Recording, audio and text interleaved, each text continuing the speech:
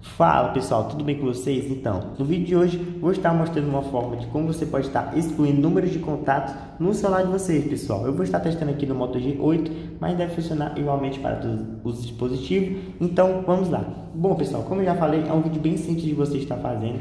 É, primeiramente, você vai estar vendo aqui no aplicativo de chamadas, vai estar vindo aqui na aba de contatos, né? no caso aqui já apareceu direto, e vai ser bem simples, você vai estar selecionando o contato na qual você deseja estar excluindo, vai estar vindo os três pontinhos aqui acima, vai estar clicando aqui, vai estar aparecendo algumas opções, mas nós vamos estar apertando a opção de excluir, e ele vai estar aparecendo a notificação. Esse contato será excluído permanentemente do seu dispositivo. Você pode estar clicando aqui e pronto, pessoal. O contato foi apagado na hora. E não vai ter como você estar recuperando ele, pois aqui nesse modelo do celular ele não tem uma lixeira de número de contatos, ou seja, não tem como você estar restaurando, certo? Mas apagar você vai estar conseguindo tranquilamente.